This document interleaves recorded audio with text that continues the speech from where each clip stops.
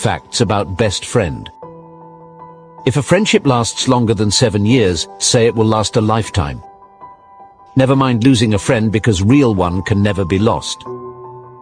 Friendship is not about who you spend the most time with, it's about who you have the best time with.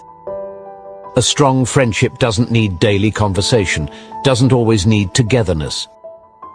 Best friends are people who make your problems their problems, just so you don't have to go through them alone. A true friend is someone who sees the pain in your eyes while everyone else believes the smile on your face. Only a true friend will tell you to your face what others were saying behind your back.